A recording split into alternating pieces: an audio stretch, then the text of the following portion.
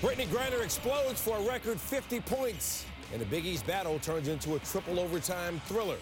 LeBron James and the Heat looking for a 15 straight win. Kyrie Irving returns as Carmelo Anthony goes down, and the Nuggets send a message to the rest of the NBA. NFL, Dwayne Bowe gets paid in Kansas City. Plus, who got tagged in the NFL and who didn't? And a can't miss conversation with Joe Flacco.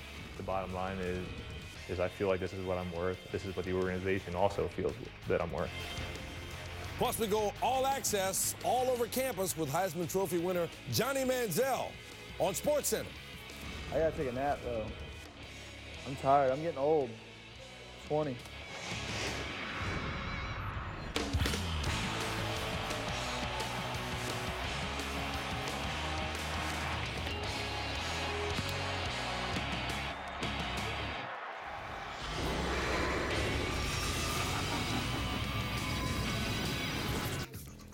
So, Diggins big in her final game at Notre Dame. Brittney Griner also played her last home game at Baylor Monday night, and she went out in style as well. Lady Bears taking on Kansas State, trying to wrap up a second straight unbeaten season in the Big 12, and Griner had the whole repertoire working. Spin move in the lane. Baylor came in with 54 straight wins at home. Griner jumper in the foul, and then two deep in the post. And then once again, she gets fouled but still scores. 22 points with 10 of 14 in the first half. Second half, Baylor up seven. They've been asking her, when are you going to get a dunk at home? Right about now. Her 14th career dunk, but her first at home since her freshman year. And her coach, Kim Mulkey, said everybody been hoping she would get one, throw it down before she left. Her last 10 dunks were all on the road, but she got one there.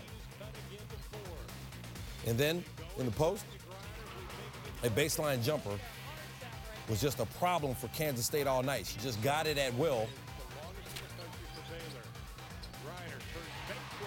She goes baseline there and then back down into the post. Then, if, necessary, she can put it on the floor. She does there. That's 44 points.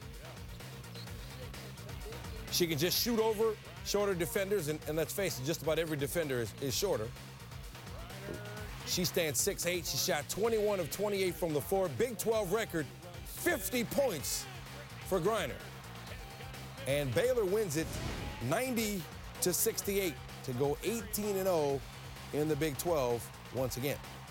And she moves into second on the all-time Division One scoring list. She trails only Jackie Stiles now, but 271 points. Now Baylor has a maximum of nine games left. Griner would need to average just north of 30 points per game to become the all-time leading scorer in women's Division One history.